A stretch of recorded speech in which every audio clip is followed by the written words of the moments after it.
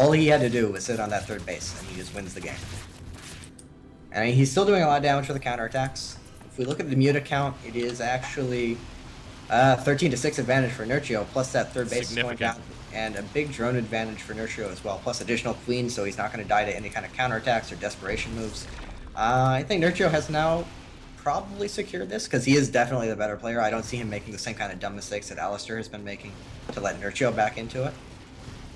That was a little yeah, crazy. I think I think from this point, Nerchio just kind of secures it and moves on and wins. I think he has finally gotten it to that point where he can do that. Yeah, Alistar's not really getting anywhere with this at this point, having lost that third base and not made anything. Just that it, it's actually almost frustrating. Actually, not almost frustrating. It's extremely frustrating to watch a gold base completely undefended from those kind of air attacks. Even one or two spores would have completely turned those fights around consistently. They do so much damage now against mutas. He didn't build any. And unfortunately, it seems like his stubbornness has cost him this game. He is far behind in supply now. The muta count is 19 to 12, and the gold base is now being secured by Nerchio as well. As you said, this game was very, very silly, and it shouldn't have gone this way. And best is he had a gold base in ZVZ. Like, it's not a matchup where minerals are at a priority. It would cost him absolutely nothing to just put down a spore crawler. And it would have made such a big difference here. Well, there's the GG. Nerchio basically handed a, a bit of a charity win, I think, there. He Yes, yes he was. It's not a case that Nerchio didn't deserve the win. It's more of a case that Alistar didn't he deserve to lose, but he did it anyway. Yeah, Nerchio certainly played it better. Uh, he definitely earned that win, but I don't know. He was just behind enough from the start. Uh, Alistar got away with a lot. He got the slightly better end of the Ling Bane trades. Nerchio's mainline control wasn't particularly good during that phase of the game, but his, his play with the Mutas was just much, much superior. Such a strange game, all things considered. I'm also not sure why they both insist on taking the gold bases. Maybe I'm just missing something. I haven't played a whole lot of ZVZ on the map, but it seems unnecessarily risky, like by a lot. They were both so exposed to the Mutalisk attacks, and it's not much safer versus Zerglings, if at all. And the gold base really doesn't help too much in ZVZ. You need gas, not minerals. Um, huh. You barely ever saturate your third base anyway. Well, that was strange. Okay, well, Alastor did take a map, so that's good. And he brought out Nerchio. So now I think you've surely got to throw Vortex at Nerchio. I would think so. I don't. I would not have any confidence at all in Majestic to beat him unless they send Majestic in with some silly cheese, like he actually has four gates or something like that. Possibly. He's Protoss. He might. They may have a plan for that. Actually, but... there may there may be something to be said for that because I don't see. I, I, I see Vortex as having a pretty good chance to beat Mana. Like he, he made one really bad decision in the game versus Titan, and other than that, he was doing okay despite not being in great position. So I don't know. Vortex definitely has the best chance to get some mana. Maybe you don't want to risk Vortex on Nerchio if you don't have to. I could see that being the rationale. So maybe if they have a good build prepared for Majestic. Uh, we'll find out, won't we? Nerchio. Uh, they're going to throw Vortex at him. Okay. That makes the most sense, in my opinion, honestly. Just uh, throw throw a good level player in there. And then that leaves Majestic as a possibility if Vortex loses to Mana, and then you you can throw a PvP at Mana, which is definitely not his best matchup. No. Uh, one way or the other, if if they can't beat Nerchio, they can't win. And no. The one who's going to be really hard to beat, I believe. Yeah, I and think if Vortex doesn't beat him, Nerchio just kills them all. Simple as that. And Nerchio did almost lose to Alistar. Like, he, he definitely should have lost that game. So, yeah. Vortex is certainly going to be better than Alistar, you have to imagine. I certainly I, hope so. I think if Vortex saw that game, he goes very, very aggressive with Ling Bane early on. Uh, I believe Nerchio's Muta control is far superior to his Ling Baneling play, just from watching that game. It looked pretty apparent that he was wasting a lot of Banelings, but his Muta play was quite solid and intelligent. So I, I don't know, especially because Vortex is a player who's pretty good with the early game aggression. He's, he's a very dynamic player. He's completely capable of throwing that kind of thing in there. I think he ought to go for that.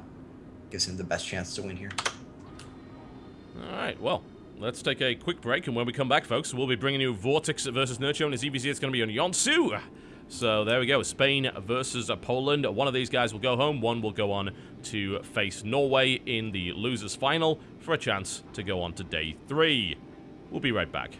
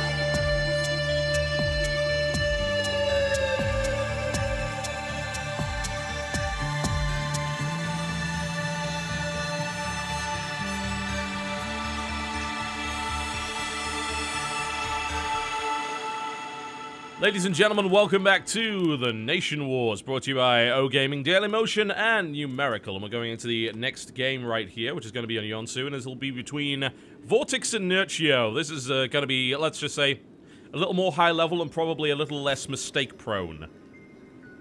I would imagine so. I would certainly hope so. Alistair absolutely should have won that game. But yes. to be fair, he absolutely should have lost the game before, so it's kind of only fair. Yeah. I suppose. Yeah, certainly. There's a there's a tiny little pixie that's giving him these wins, but also giving him the losses because he's a malicious little pixie. But never mind. That was a really weird game. Everyone was confused. Nerchio in the lobby actually said that game was awful, and I I mean I hard, I find it hard pressed even trying to be positive to disagree with that because really Alistair had that in the bag, and he was really stubborn and kind of refused to do the sensible things. It's almost like he saw the win and then pulled a Scarlett with uh, versus SOS, if you recall correctly, where she saw the win, got stars in her eyes, and just went right for it. Pretty much the same position. Mm -hmm. And he just, he threw it away, which was really unfortunate, because I think he could have had that. Yeah, absolutely. Just attacking, he had a gold base again. He had three bases with a gold base against two bases with no gold base. And then he continues to try to attack into queens with his mutas. Just absolutely I... terrible. Build spore crawlers. Just or just don't attack. I mean that works as well. Yeah, just not attacking would have been enough probably. Yeah. Like, spore crawlers is the hundred percent win. Not attacking is the ninety percent win. I just like to watch spore crawlers in ZVZ. I like watching yeah. mutas die, and those seem to be the things that kill them the fastest, so it works for me. They kill them really, really fast, especially in low muta counts, because Nerchio was never over like 15 for the first three fourths of the game. So he would have been absolutely nothing he could have done against the spore crawler. Yep. You secure that base and you win. Well, never mind. Let's see if Vortex can uh, pull something out of the bag here. He's very strong in this matchup, but he is against this guy to the southwest position, considered uh, for the longest time to be the strongest Polish player in the Blue Trunks playing Zerg. For Team Poland, it is Acer Nerchio. His opponent to the northeast position in the Red Trunks playing Zerg for Team Spain who one would have thought would have been able to carry his team in the previous series, but failed to do so. So let's see if he's warmed up now and he's ready to rock and roll. It's mousesports Vortex. Mirror builds out of both of them yep. so far. Slight, slight, slight variations, but pool first, quick gas, and then a hatchery. So very standard. And this seems to be what Nerchio does every single game. I'm pretty sure it's what he's done both the previous ZVZs. And Vortex, we didn't get to see him play as ZVZ just yet, so I'm not sure exactly what he prefers but absolute mirrors thus far, both with two Zerglings meeting in the middle of the map. A little bit of a micro battle going on, which Vortex won kind of, as long as he gets away. He killed one, he didn't lose one. So yep. he can go home and regen and take that 25 mineral victory with him. Indeed. Well, Nerchio's not going to be able to... He wants it, but he's not getting it, I'm afraid. That's It's just not going to happen. It's the worst thing. Oh! Get, no, the regen kicks in. Never mind. And interestingly, Nerchio is actually taking drones off gas. He's going to be doing a speedling, at least attack, if not all in. Mm -hmm. But we have an immediate Baneling Nest coming out from Vortex. Timing on this is going to be really, really close. Um, actually, not close at all. He doesn't have any Zerglings coming out, so even if he's going to have two Zerglings, and Speedling's going to finish faster for Nerchio. So it wasn't exactly build orders. I just kind of assumed it was close enough to not it. matter. But Nerchio actually got gas and Speedling much quicker as he was aiming for a Speedling all in here. Back at home, Vortex. Vortex smells something. He's making a couple extra Zerglings, but no Spine Crawler yet. He's saving up Larva, so he can make extra Zerglings if he needs to, and he sees the attack coming, he knows he needs to. The Baneling Nest has not completed just yet. It's about 50 HP away. He's going to clean block the hat, the ramp and make Banelings behind. Well, that's going to be some drones, so they, they will be able to mineral walk through the Queen, so he's able to save a few of them. That resulted in two dying, but he is looking to try and take that out, and it looks like he might be able to have the DPS for it. The Lings are about to pop out, but it's in red health right now. 300 going down to 200. The Micro's looking pretty good right here for Nerchio. He takes out the hatchery. Very nice. Took out a drone, took out a hatchery, forced four quick banelings, a lot of Zergling production. So that was a big, big win for him as long as he doesn't die here. Because there are Banelings on the way and he does not have his own Banelings now. That can be pretty risky, especially with a lot more circling streaming across the map from Vortex. But Vortex doesn't have another Larva check going, so this is the last big wave he has. He needs to do significant damage and really just break Nerchio here. Yep, Spine's about to be done, but it's not quite up yet. So Vortex still has a chance, and a connection comes in. A good one here, right here for Vortex. There is only a single Baneling left. It does go off. The surround comes in. Nerchio's Queen is going down here as well. And uh, the Lings come in from Nerchio to clean up the rest. So that looked good, but it didn't really do enough. Those were good Baneling connections, but really smart play from Nerchio. He actually ran his existing Zerglings around, just kept them in the back, kept them safe until the Banelings exploded, and then was able to come in and clean up afterwards. As I said, uh, Vortex didn't have a Larva Inject going, so he wasn't able to reinforce that attack. And Nerchio actually going here... Nerchio's Ling vs. Baneling control has not really been on point thus far today. He's taken a lot of really bad explosions. But this game, the, the just the choice to do that attack early on has secured him a pretty big lead. If you look at the harvester count, he's up by a lot. Uh, yep. nine, nine. Eight, nine varying amounts. And as long as well as the earlier hatchery. Yep. He did lose that queen early on. That's that's, that's less hurting optimal, him a bit. But it's yeah. okay. He, he has a very solid advantage going into the mid game here. He also has access to a Baneling nest now, so this attack coming shouldn't do anything, but he's not morphing Banelings for some reason.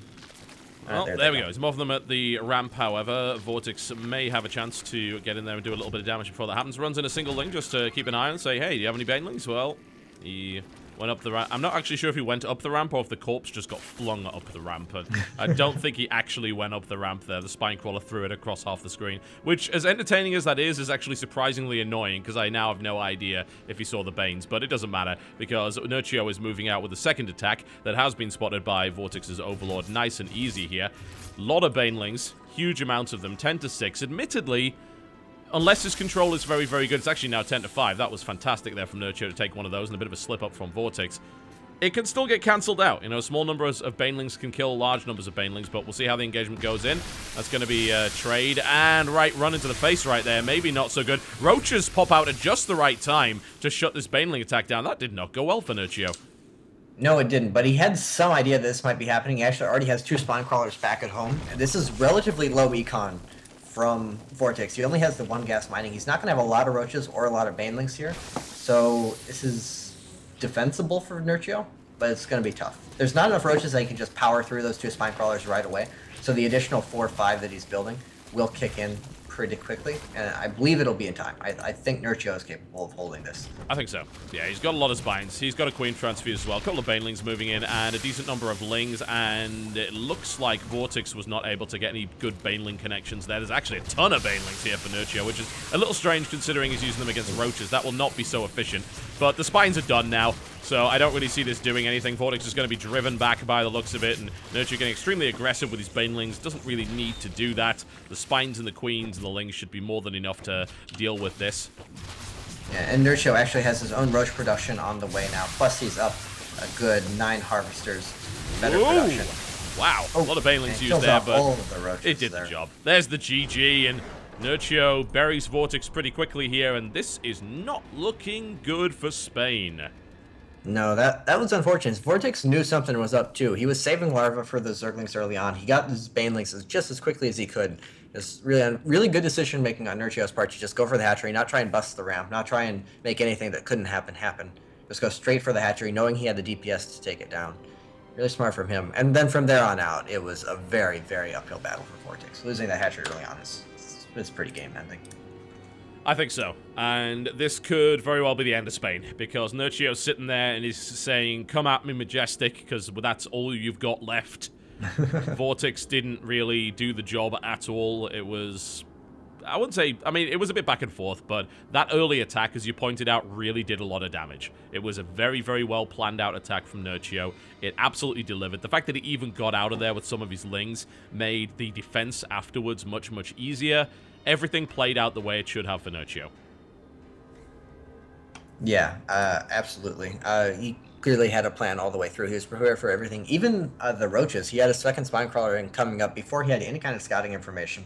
I'm not sure if that's a habit of Vortex's. Any kind of low econ situation, he tends to go for roach busts. If he's just a fan of roach busts in general, if Nerchio was just paranoid because of the previous game against Targa, or whatever. But whatever happened, he had some kind of read there. Put up that second spine crawler, completely blind.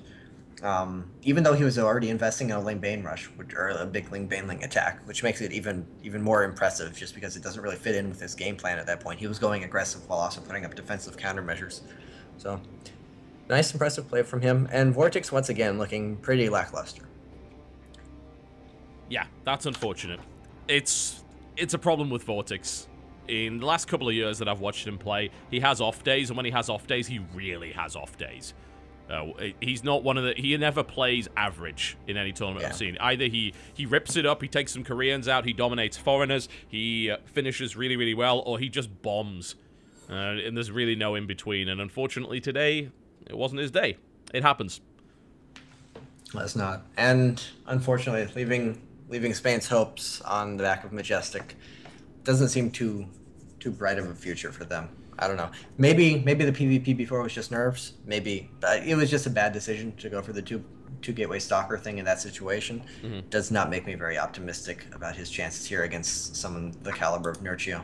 Yeah, and Nerchio is a guy that has had top finishes. Nerchio is the guy that has actually won major tournaments. So to suggest that Majestic would be able to take him out, it's a tall order. It can be done. It is just a best of one. We should bear that in mind. So we're not talking about Nerchio playing a best of seven series, which he'd win 99% of the time. We are talking about a best of one against a Protoss that could go either way. It's going to be on Frost. That's that's interesting. I would have figured he chose something. He'd choose something like. Actually, I guess Yeonsu and Polar Night are both already out of the pool. They've both already been played. So that takes out the two very aggressive maps. I was kind of just figuring he would go for like a gateway expansion into a four gate into an immortal all in or some kind of very powerful, very simple cheese. But on a big four-player map like Frost, that becomes much less effective. Um, you have to get much more into the realm of tricky cheeses. Uh, at, at, the very least, you have to hide pylon placements and whatnot. You can't actually just protect them and straight up do a rush. Everything has to be a surprise or be hidden, be unusual. I don't know, maybe he does something like a weird DT all in, or a weird DT rush, because he definitely has to do something. He can't just play a macro game with Nerchio. I don't know enough about him, but I'm almost positive he's not going to be on the same same par as Nerchio. Yeah, I think so. This is a tall order. Again, a possibility for Majestic to actually make it work. And I think if he does take out Nerchio, he's got a good shot at mana. But as you said, last PvP was pretty diabolical. So we don't really know whether or not that was just nerves or whether he's just genuinely not very good at that matchup.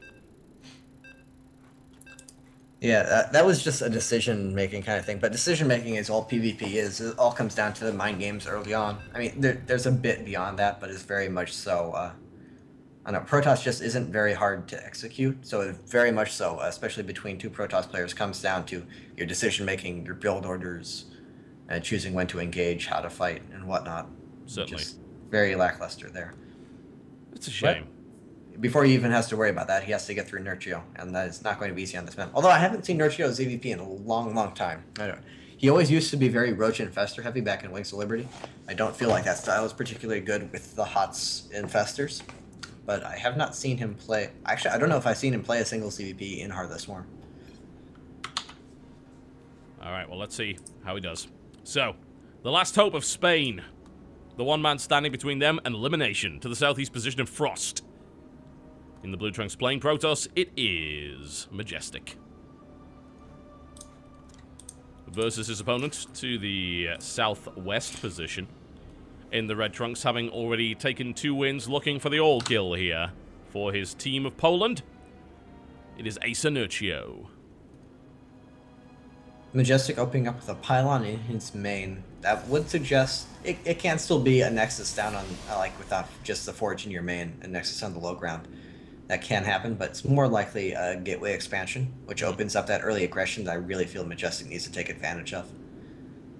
Oh, he's not putting down a gateway just yet. Yeah, he is rallying his probe out, so should be dropping a gateway with that. There we go. 13 gateway. Okay. Not a super early gateway. And now the big thing to look for is if he is just going to go super cheese, if he is just going to go one gas gateway expansion into four gate zealot, because that kind of thing uh, especially against someone like Nerchio, because Nerchio, he's a very I, in every matchup. Uh, even used to be in ZVT. I think he's gone to Hatch first in ZVT, but he used to be even in ZVT. He would go pool first every game just because he wanted to be safe early on. He felt like that was the best opening.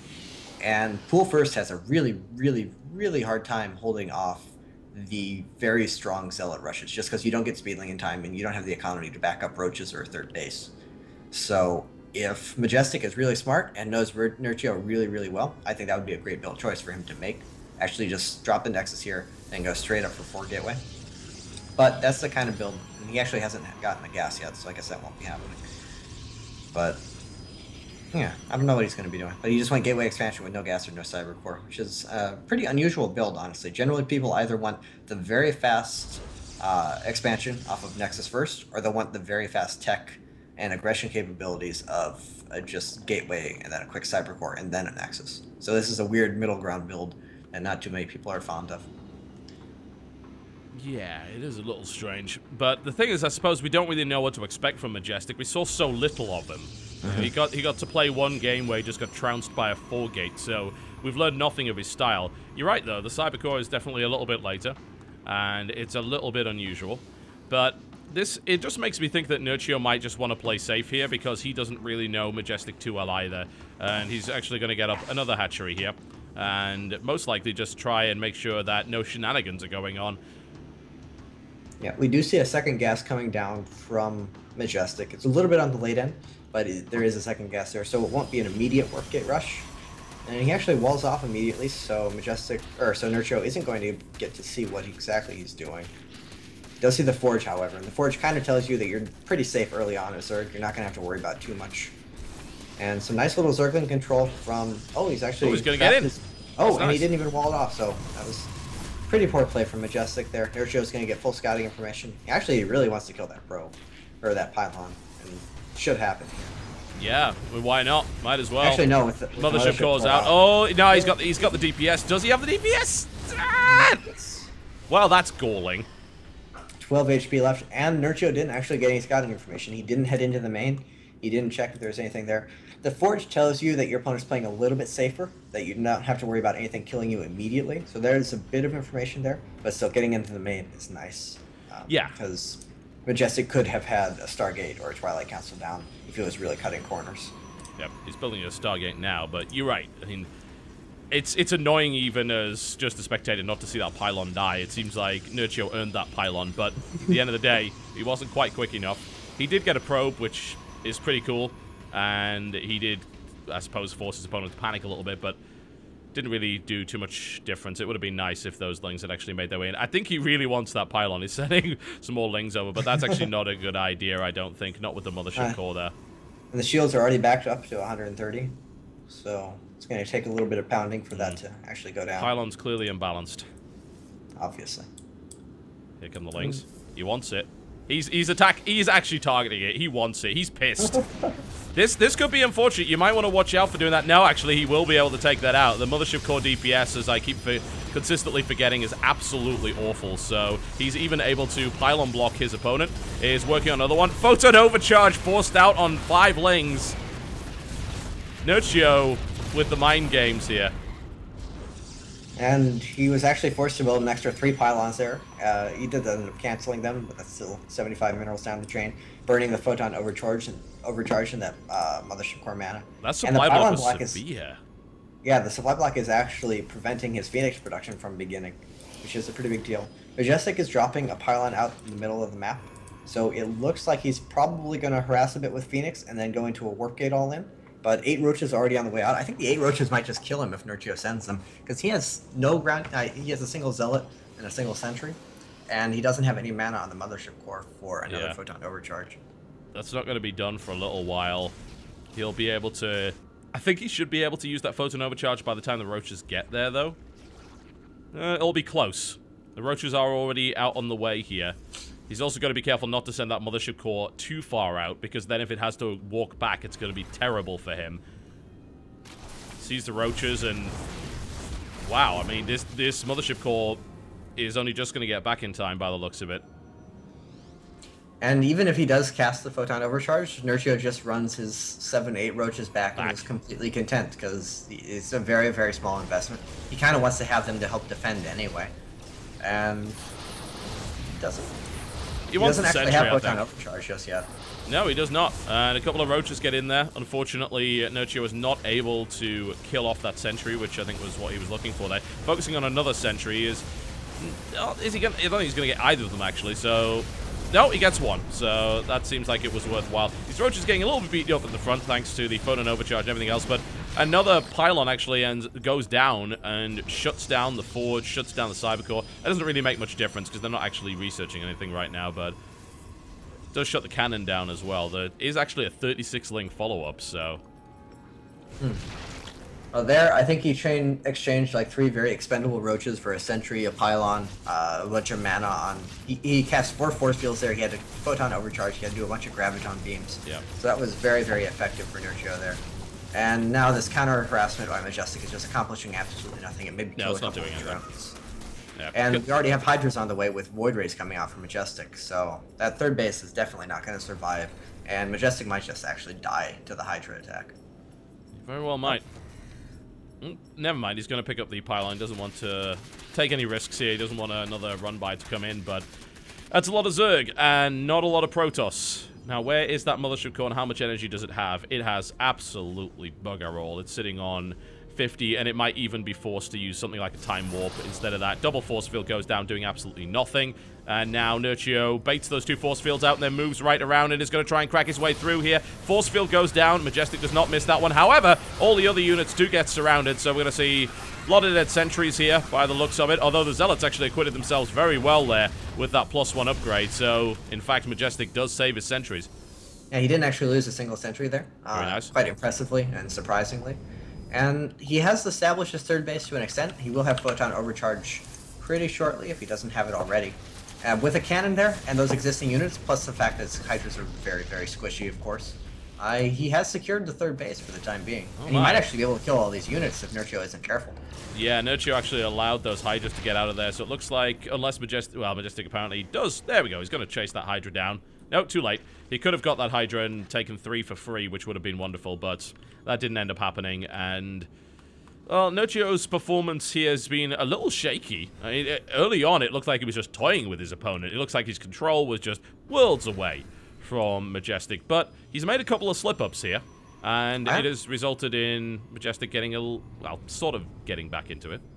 I honestly think he was just toying with him. It looked like he was playing really cocky. He kind of felt like he could just attack with anything, and he would win the game.